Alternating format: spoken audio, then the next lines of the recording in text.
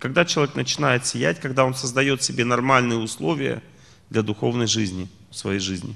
Нормальные условия означает внутренние условия, здесь сердце прежде всего. Означает всех простить, никого не обвинять в своей судьбе и всех принять. Но смотрите, со страстными людьми можно жить рядом, но при этом не надо с ними строить глубокие отношения. То есть не надо с ними говорить об абсолютных вещах каких-то. Это невозможно, они не могут это принять. Только с благостными людьми можно говорить об истине в семье. Со страстными людьми мы живем рядом.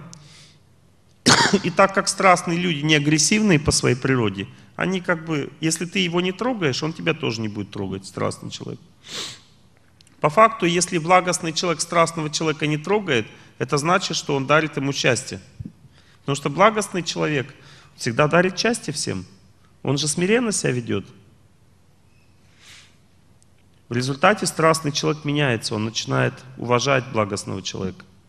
И его, он принимает благость в свою, в свою жизнь. Смотрите, в этом случае что происходит?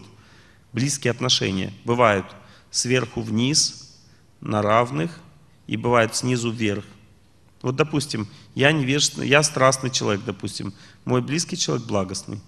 Он ведет себя правильно, у меня в сердце появляется чувство благодарности к нему – и в результате снизу вверх, то есть он дает мне знания, а я получаю. Но это близкие отношения уже. Это не значит, что я к нему о, отношусь там, допустим, ну, обычное отношение. Но в сердце своем я думаю, Господи, мне достался удивительный человек, я его недостоин. Это придет само собой в сердце. Человек не ждет, не ждал такого ответа, он думает, «А, удивительный человек со мной живет. Само собой придет в сердце, это неожиданно, понимаете? И тогда в сердце придет знание от этого человека, перетекает знание, сверху вниз знание всегда спускается.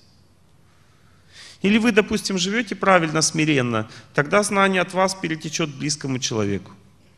Когда придет время – он когда, благод, когда судьба плохая перестанет на вас влиять, то есть вы просто молитесь, живете правильной жизнью, и постепенно внутреннее счастье, а другого счастья не бывает. Невозможно жить внешним счастьем. Только внутренним счастьем человек может жить. Все остальное приходит просто само собой. Он не ждет человек. Может прийти, а может нет. Я не знаю глубину своей кармы. Вот со мной рядом живет человек, он несет мне страдания в жизни. Так положено на этой земле. Я как бы служу ему, ничего не, не притязаю. Приходит время, и он приносит мне счастье. Когда, я не знаю. Но счастье уже внутри есть. Почему? Потому что благостный человек испытывает счастье от отношений со святостью. Он живет внутренней жизнью, означает отношениями со святостью.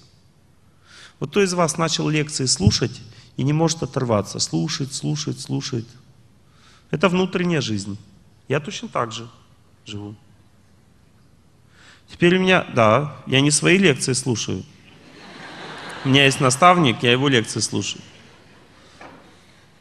Разок я ехал в машине, вот здесь в Москве, на лекцию на свою ехал. И вез меня один молодой человек, и он включил лекцию. И я слышу, что-то какой-то гнусавый голос такой, картавый. И мне противно стало. Я говорю, выключи. Потому что я привык слушать другие лекции, понимаете? Вот. Теперь у меня вопрос к вам. А кто из вас, кроме того, что вы слушаете лекции, начали еще повторять молитву уже? Или повторять «Я желаю всем счастья»? Вот. Вот это и есть уже означает устойчивая позиция разума. Когда человек слушает, он напитывается энергией знания, а потом начинает сам из себя его выделять. Это знание, эту энергию знания он из себя выделяет с помощью настроев по утрам. Он чирикает по утрам. Чирикает молитву.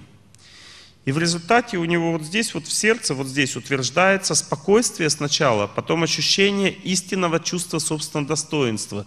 Потому что, понимаете, только по-настоящему достойная жизнь у тех людей, которые понимают, куда надо идти в жизни. Они чувствуют собственное достоинство, означает, никого не трогают. Как понять, чувствую я собственное достоинство в сердце или нет?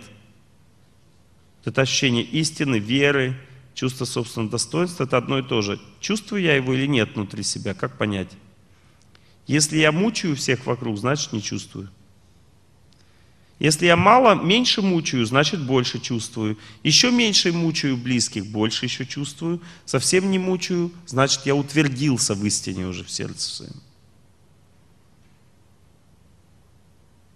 Когда человек утверждается в истине, когда знает, что счастье идет отсюда туда, а не оттуда сюда. Он понимает, как движется счастье, направление движения.